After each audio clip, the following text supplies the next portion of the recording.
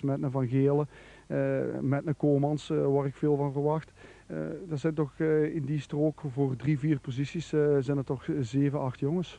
Voorin zijn Van der Weijer en Gloefts gebleven en moet de Senegalees Ibrahima zich straks bewijzen. Hij komt uit de Noorse competitie en woont in Schoten. Dat is, uh, dat is een jongen die een meter 94 is, uh, uh, die goede voeten heeft, die in Noorwegen gespeeld heeft, die ik wel geen enkele wedstrijd heb zien spelen, maar toch verschillende trainingen heb bezig gezien. dat is een jongen die je zeker kan gebruiken en die betaalbaar is. dat is ook belangrijk denk ik.